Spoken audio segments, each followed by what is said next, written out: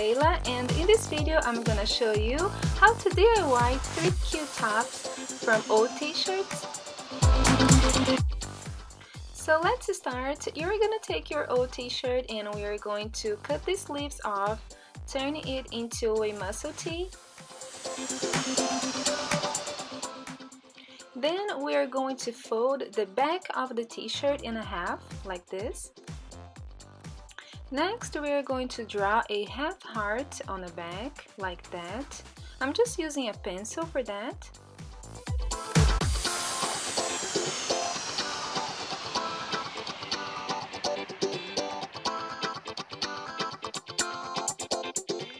Then we are going to cut it out with a pair of scissors. Next, we are going to unfold it and you should have a nice heart shape on the back of the t-shirt.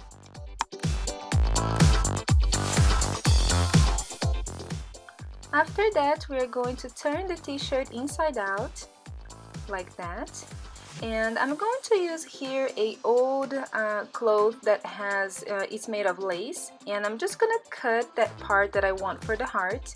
And I'm just using craft glue to glue it. So we're just going to apply the glue uh, around the heart, like that. Very close to the edge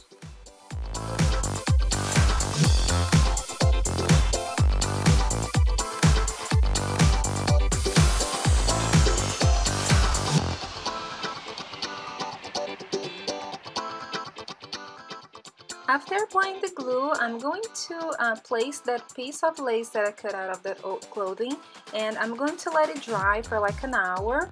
Uh, this glue works really well, it really works guys. Uh, if you want to try this, I highly recommend. Um, so, and then I'm just going to let it dry for an hour and then I'm going to cut the excesses off and that's pretty much it.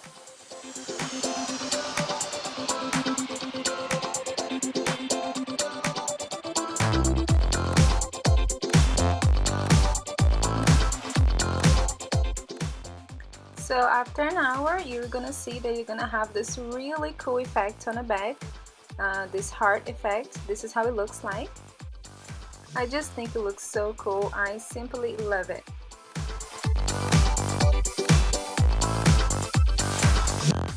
Our second t-shirt is going to be a graphic iron-on t-shirt.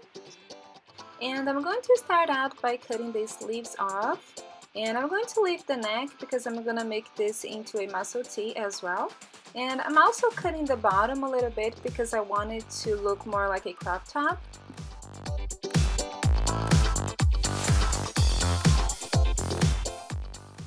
So next what we're gonna do is we're gonna go on Google and we're gonna Google the words okay okay and then you're gonna see uh, a bunch of prints that you can use for your t-shirt and you're gonna need a iron on paper or a transfer paper for that. So I'm using this one.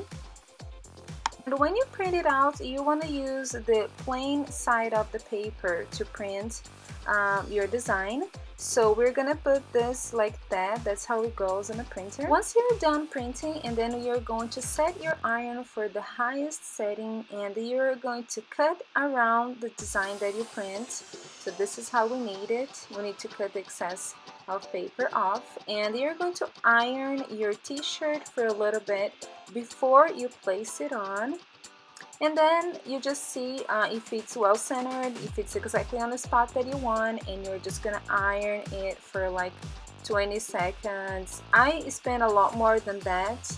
Uh, you can uh, always uh, pick on the edges to see if it's working or not and if it's not you just keep on ironing it until it works and finally after a couple minutes I got my print and I think it looks really good the quality.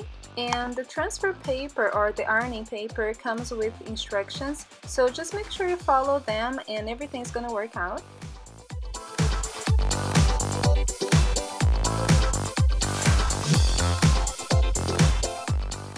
our last and third t-shirt, we are going to start out by cutting the parts that we don't want on a t-shirt and just making whatever design that you like. I'm just cutting the sleeves off and I'm also cutting the neck off on this one.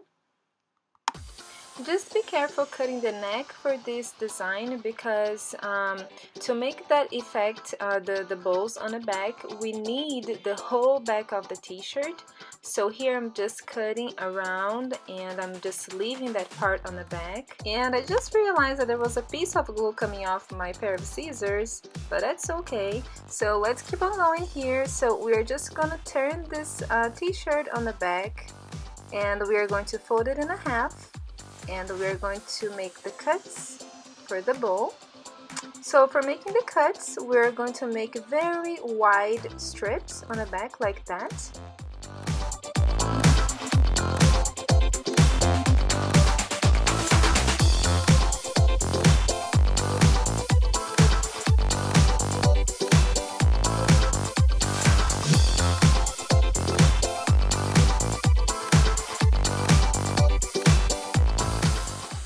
Once you're done cutting the strips, this is how it should look like.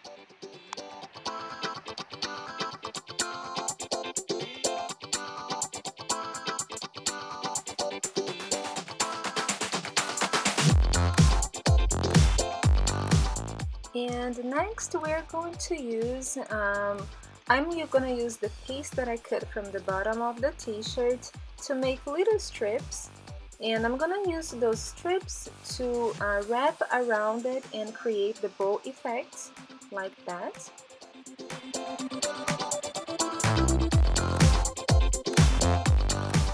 And I'm going to use the same craft glue that I used for the first t-shirt to glue this strip around the bow. And then you're just gonna let it dry for an hour and there you have it your bow effect and this uh, this style is really nice the way I did this because sometimes people create a knot to make the bow but the knot can make it really uncomfortable for you uh, to lean on a chair or something so I think that this way is really comfortable and looks great. So that's it for this video guys. If you like this video, please don't forget to rate and subscribe to my channel. And I'll see you guys on my next video. Bye bye! Thank you